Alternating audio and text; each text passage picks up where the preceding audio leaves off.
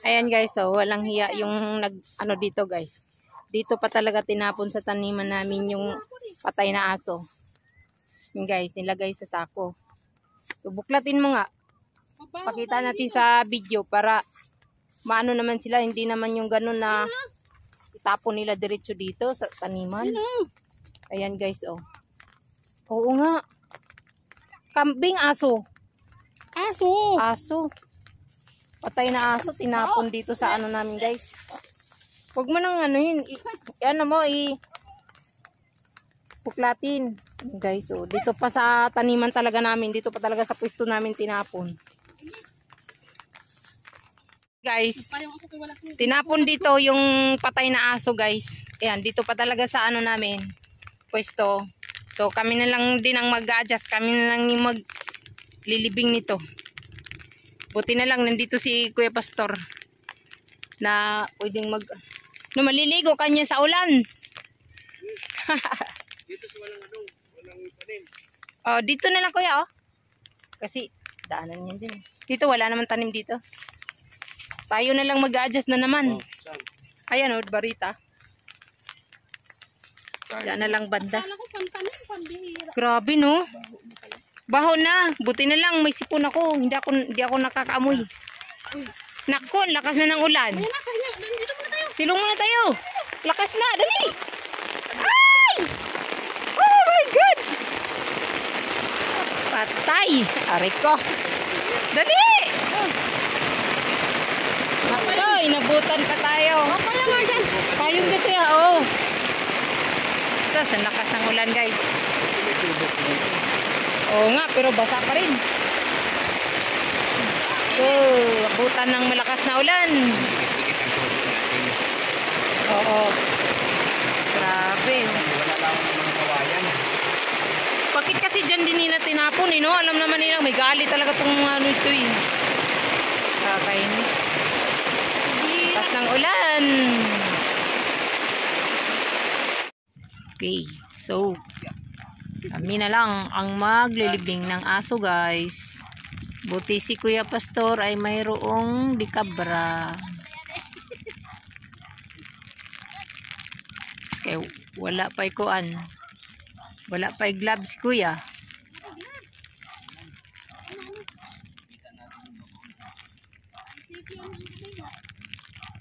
Ara ba yung mga hurupay dra? Mm, Mga harupay. Yan, laban ng kamay sa makanya eh.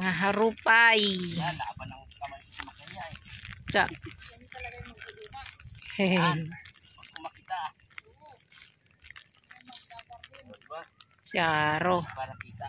O, ayan guys ha. Kami na lang naglilibing ng patay nilang aso. Mayroon kaming ebidensya. Tinapunan dito ng patay na aso. Di man lang nilibing. Nako. Ano pa yung bunga nito? Saglit lang naman sa... Naglibing ng aso, mamunga ng santol. Yan, yun oh. Oh. Laki ng dikabra oh. Diba, buti na lang may dikabra si kuya.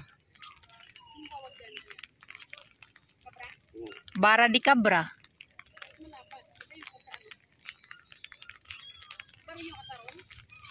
Di ba yun? Yung parang ginagamit nila sa rule. Ah, parang piko. Yo, Pico. Oo.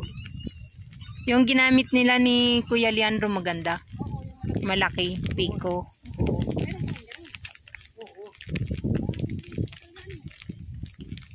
Dito. Oo nga. Di ba? Pinahirapan talaga tayo eh, no? Siguro ang laki ng hasinda mo sa probinsya. Oo, oo. Hindi kumplito ka ng gamit eh. Ah, sa probinsya mo, kuya? Ako? Oo. Iriga. Iriga. Iriga. Albay. Ah, Bicol. Bicol, gani. Ah, kapatid kami din eh, sa Bicol. sa Camarines. Marinis. Uy, tubigan man diri ang dapita. Sus, oh, lubog oh. Lubog guys oh. Lubog. Bisaya at Bicol dun eh. Pwede ka magsalita ng Bicol. Yarn. Eh, dito taba yan. palpak. Kami na lang. Kami na lang ang mag-a-adjust. Bigay mo na. May barita. Kulang kaya tayo. eh. Grabe no. Tubig pa naman. Grabe. Ibang aso, kami naglibing. Si kuya ang naglibing. Buti na lang, mayroon kaming kasama ditong mabait. Pagtulog. Shout out sa mga may aso dyan. Pagka naman may namatay yung aso nyo, ilibing nyo naman ng maayos. Kawawa naman yung alaga nyo. Hindi yung itapon nyo na lang kung saan saan. Tapos, syempre yung tinapunan nyo, may may-ari din. O, di, Kaso yan. sakripisyo pa maka, maka, Pag Ano pa kayo? May kaso yan. Oo. Pag nahuli pa kayo, syempre mananagot kayo dahil hindi yan basta-basta na tatapon na lang basta na ano kasi masama yan sa kalusugan eh. Masama sa kalusugan yan guys na tatapon lang kung saan-saan yung patay na alaga nyo. Kailangan itama, i, ano, i, ilibing ng tama, hindi yung itapon na lang kung saan-saan. Ilubong ng tama. Oo. Tinapunan kami dito ng patay na aso eh. Ayan oh, sa sako. Tapos yan, si Kuya Pastor na na naglibing. Ilubong Tinapon lang dito. Ayan oh, may sa sako. Baho na. Kaya nga eh. Buti na lang may dikabrato si Kuya. Grabe no. Yan guys, pag nahuli daw, sino dang mahuli dito na nagtapon ng patay na aso? Makakasuhan talaga. Kasi hindi to basta-basta na kung saan-saan na lang itatapon yung patay na alaga, pusa o aso man. Dapat nililibing ng tama. Tama. Diba? Kasi may buhay din yun eh. Hindi yun na ano na lang na basta-basta na lang itatapon eh. O buti na lang may nagkusang loob dito na mabait na mag ano maglibing kasi di rin naman naman di rin naman namin kaya na na i- maghukay kasi wala kaming lalaking kasama. Di ba? Nahirapan pa. Sobrang putik pa. Para ka na naglimas. Para ka na naglimas, kuya. May ito na. Para na tayong nagawa ng ano nito, ng fish pond. Ta, naghirap tayo sa hindi naman natin alaga. Salbahe. Sabay talaga eh, no? Woo, grabe. Eh. Ay, nako. Ano? Pwede na yun. Pwede na siguro yan. Isa, isa na lang. Isa pa. Para medyo malalim-lalim. Very good talaga nagtapon dito. Very good talaga eh. Wala man lang konsensya. Tapon, di man lang nila nilibing. Oo nga eh. Di man lang nila naisip na yung mga taong nagtatanim dito eh. Masama yan sa kalusugan, no? Grabe. Aso yan. Dapat ilibing. Oo, hindi yan basta-basta tinatapon na lang. Ay nako, may mga tao talagang ganun. Masasama ang loob. Ala, alaga ng aso. Oo, tas di marunong magligpit. Pasaway talaga. Ah, Oo, pa, ah, yun oh. Niluwak lang dyan, no? Ha? Wala tayong tubig, salukan natin. Niluwak lang dito, walang hiya. Nako, yan, yan, naghirap. Iba, masaya ba kayo na, o, oh, diba? Masaya ba kayo na alaga nyo, Oh. tas iba yung naghihirap? Siguro, iba dyan, nakangiti pa. Kaya nga eh. Ay, salamat. Ito yung hirap ng ginawa nyo dito na tinapon nyo lang basta-basta dito yung mga alaga nyo ng patay. Huwag na kayo mag-alaga. Huwag na kayong mag-alaga kung hindi nyo kayang gampanan na pag namatay, idiretsyon nyo na lang tapon kasi nakapar nakaperwisyo kayo ng tao eh. Di maganda yung ginagawa nyo eh. Malaking abala yung ginagawa nyo. Oh, shout out dyan ha sa mga may alagang aso. Dapat ilagay nyo naman sa tama yung ano. Yan o, mabaho na yan eh. Ay, nako. Yan, kasi yan. Ganyan. Di naman, di pa naman kami babalik ato ng ano eh. Grabe, no? Ah, maluwag eh. Diba? Okay lang yan. Tuniyan ko yan. Maano din naman yan eh. Ma, dito. Madunot. Dunot mo lang itong bato. Ayan. Ah, ah, ah. Pinaka ano, no. Pantabo natin. Yan din. Yung, yung ano din. Yung Lupa. mm, lupa. Baho? Naamoy na niya. Dapat may sarariling lupa eh. Para dyan. Ano kaya ito? Luwag pa pala yung aking hukay. Yun na yan. At least nalibing natin. Kaysa nakatiwangwang lang, di ba? Layo kasi no. Yung iba kasi nakatiwangwang lang talaga eh. Layo kasi nung ano eh. Nako. Lupa doon no. Pasaway talaga tong mga taong nagtapon dito. Baho na. Yung piko nang yan. Magkubkubtag ka ng ibang ibang lapo. Saan na? Naulit na. Mabaon lang yan. Tapos lagay ng ano. Sana oh. May panambak doon oh. Kaya layo eh. Layo. Grabe, tayo naghirap. Di natin nalaga. Kainis talaga tong mga taong nagtapon dito. Very good. Very good masyado. Ay, nako. Mga gumagawa ng masama, di ba may kainat na yun? Yung guys ha. May kapalit talaga tong ginagawa nyo pagtapon dito ng patay na aso. ano yung kapalit? Ang bunga niya na. Yung bunga nito. Bibigyan ko kayo. Sino man kayo. Oh, na. titibing kami. Ito si Kuya Pastor na sa barangay to. Tandaan nyo guys. Yan na. Kung sino ang nagtapon dito ng patay na aso at mahuli niya. Alam nyo ang kababagsakan nyo. Lalagay tayo CCTV dito. Oo. Alam nyo kababagsakan nyo. Dahil ang naglibing ng aso nyo, nasa barangay nagtrabaho to. Tandaan nyo yan. Pan. Hindi basta-basta yung ginagawa nyo. Pwede kayong kasuhan niya ng saan sana kayo nagtatapon ng patay na aso. Dapat nilagay nyo sa tama.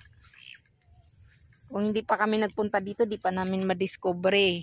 Malaman lang namin, nalaki ng uod. Daman lang namin, oh.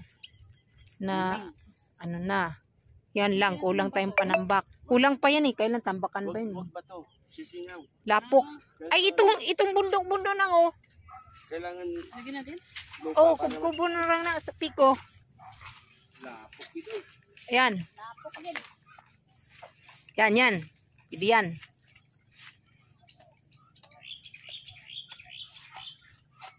Ako be, ikaw mag ano? Ikaw mag video.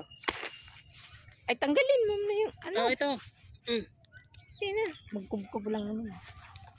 Nga. Para may ebidensya tayo na Yan. Mag ano ng lupa para ilagay doon sa binaon na aso. Aso ng mga ano. nang walang iyang mga tapon-tapon ng Pag mag-alaga kayo, huwag nyo basta itapon. Napamahal nyo yon Tapon nyo lang. Bilibing nyo naman. Para meron namang magandang alaala. Pag namatay, basta nyo na lang iwan. Pag buhay, mahal na mahal nyo.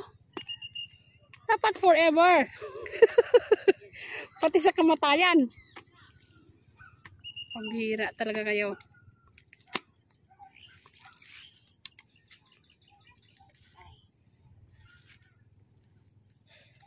Tara, tangin natin dun.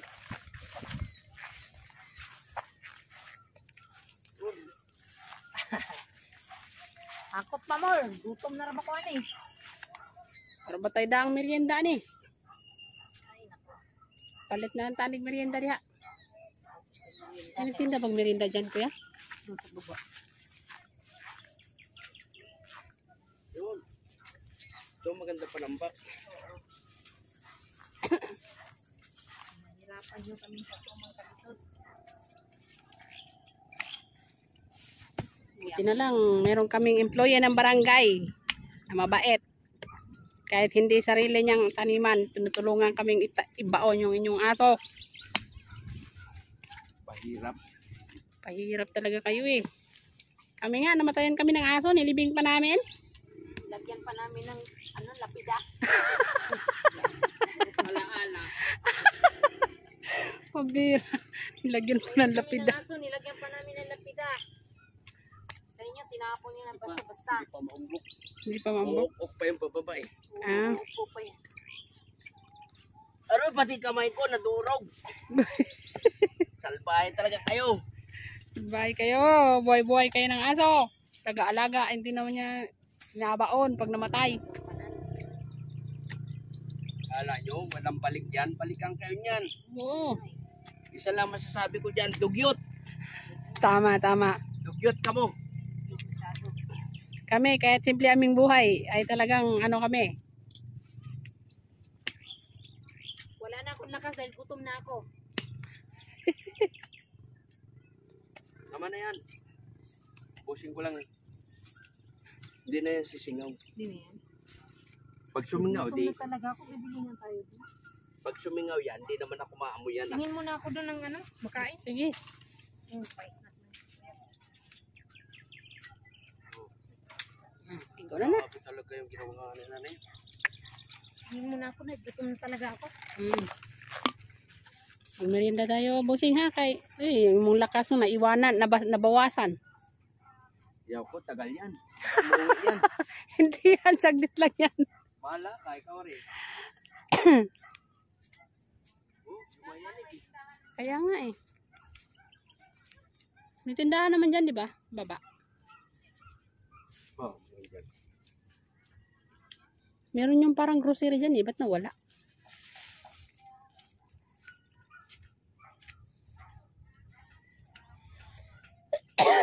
Ano yan? Aso na naman yan? Ayaw ko na. Siya nakapagbaon ng asong namatay dito ni tinapon. Ako lang pala. Taga-baon dito. Oo nga eh. Yung pala ang trabaho ko dito, taga-baon. Mga salbahing tao. Yun. Ganyan din kaya mangyari sa inyo. Buhay pa kayo pag na, namatay kayo, tapon na lang. Kaya nga. Ano kaya ang itsura nila? Kaluoy. Walang pampalibing. Kaya nga eh. Tinapon lang.